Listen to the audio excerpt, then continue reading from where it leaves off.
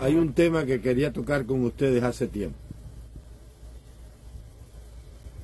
Hace tiempo viene circulando en las redes sociales la presencia de ciertas personas que dentro de una posición de izquierda comienzan a criticar al proceso revolucionario de la llamada tiranía esta cubana, dando a entender, perdón, que son personas que dentro de la misma posición ideológica buscan reformar el sistema para darle espacio y cabida a los nuevos tiempos, a nuevas ideas, con aras y con la intención de reformar el sistema sociopolítico que hasta hoy ha imperado en Cuba. O sea, hacer la revolución más dinámica, más funcional y más adecuada a los tiempos.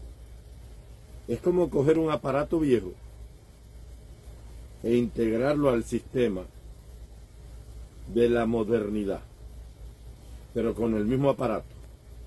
O sea, reformar el sistema. Pero esto, esto quiero que entiendas una cosa, esto es un engaño más de esta tiranía para seguir estirando la soga y seguir, y seguir echándole hilo al cometín de la dictadura por tiempos y tiempos y tiempos y la mitad de un tiempo como dice la Biblia. Esto es un sistema que como único se puede mantener en el poder es reprimiendo o mintiendo.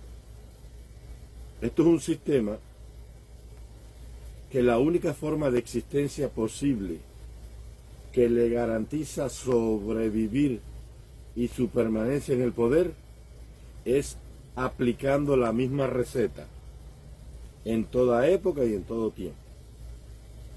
Todo esto de la izquierda crítica de personas que dentro del mismo sistema han comenzado a criticar, como en el caso de Silvio Rodríguez, Eduardo de Llano, el mismo Junior García y todas estas personas, lo único que intentan es ganar tiempo y tiempo y tiempo.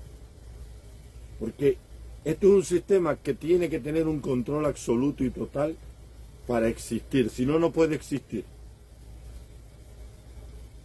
Si ellos no controlan todos los sectores sociales, si un solo sector social queda fuera de su control, entonces la supervivencia y la existencia del régimen está amenazada. Y ellos lo controlan todo.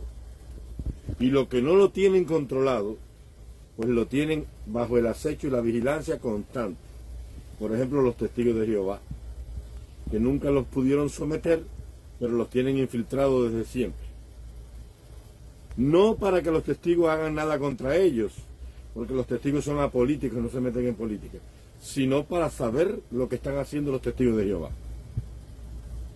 Y lo mismo pasa con la masonería, con los caballeros orfelos y con todo sector social. Perdón, que ellos no han podido enganchar al carro de su propaganda y su revolución. Entonces ellos quieren seguir perpetuándose en el poder y están dando a entender de que están buscando espacio para la salida birmana. La salida birmana es la forma en que la dictadura de Birmania pactó con la sociedad civil para ellos quedarse intocables en el poder militar y que el poder civil se hiciera cargo de la sociedad, de la economía, de la diplomacia y los militares eran el poder pero si nadie se metía con ellos, ellos no, se metían en la vida de la sociedad. Esa es la llamada salida birmana. Y es la que las personas están por ahí queriendo dar a entender de que esta tiranía anda buscando o la salida birmana o reformar el sistema con los socialistas críticos, la izquierda crítica. Pero todo eso es falso. Todo eso es mentira. La concepción del partido único no permite otra ideología que no sea la ideología monopartidista. Esa dictadura sabe lo que hace, sabe lo que la sostiene, la seguridad del Estado la mantiene en el poder, la Fuerza Armada no controla ni protege nada aquí. La Fuerza Armada está en Cuba para hacerle entender al mundo que hay un ejército, pero eso no pinta en Cuba nada. En Cuba quien apuntala y mantiene la tiranía es el Ministerio del Interior, con la represión científica del Departamento de Seguridad del Estado y con la represión brutal de la policía. Eh, eh, es lo que sostiene al poder. Ahora, ¿quién mantiene al poder? Lo mantiene el exilio que manda el dinero para comprar la tripa, el arroz y la cuota del pueblo, para pagar las tres guaguas viejas y, y tener una torunda de cuando en vez y de vez en cuando un policlínico y un apósito.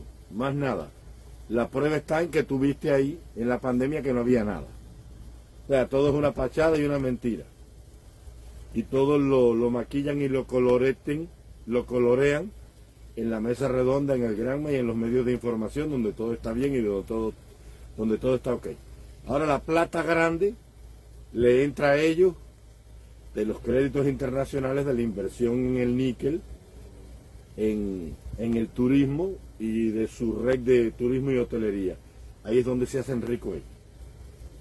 Y siguen pidiendo préstamos y empeñando al pueblo de Cuba por 20, 30 y 40 años después, tres, cuatro generaciones más para allá, y ellos siguen engordando a sus anchas y siguen empobreciendo al pueblo y lo mantienen con promesas que nunca van a llegar de una mejor vida y ahora lo tienen entretenido con las empresitas de las mini y toda esa historieta y dándole a entender a la gente de que sí, de que se está buscando un camino para el diálogo a través de la izquierda crítica o tal vez de la salida birmana, pero todo eso es mentira.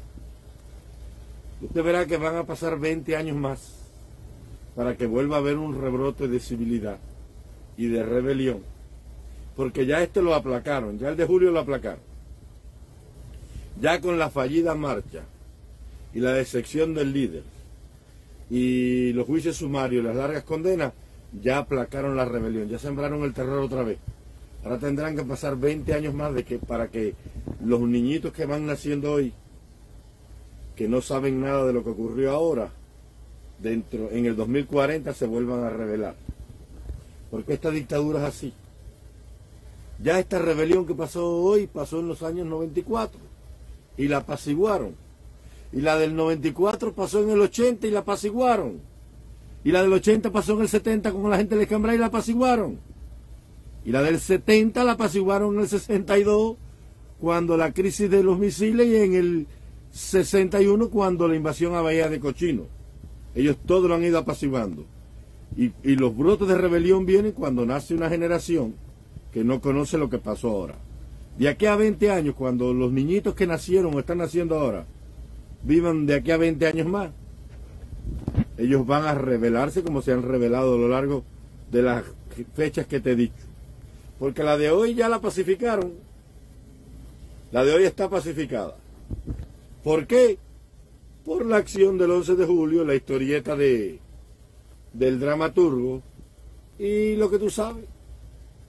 Ahora van a entretener con la izquierda crítica y con la salida birmana y así se meten 20 años más como Fidel que dando una olla, un chocolatín, un cafetín, un calentador de agua y tres jarros, y un televisor y un refrigerador, tuvo el pueblo cubano 20 años en la llamada revolución energética. Pasaban tres años, la gente esperaba una cosa y cinco más esperaban otra. Y así los metió 20 años y así pasó el periodo especial desapercibido, la gente esperando de cosita en cosita los buchitos de agua que la tiranía le ha dado. Y así va a pasar ahora y ha pasado siempre y seguirá pasando. Olvídate de eso.